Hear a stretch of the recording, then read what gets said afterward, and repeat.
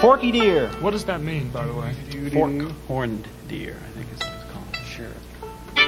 Meat potatoes.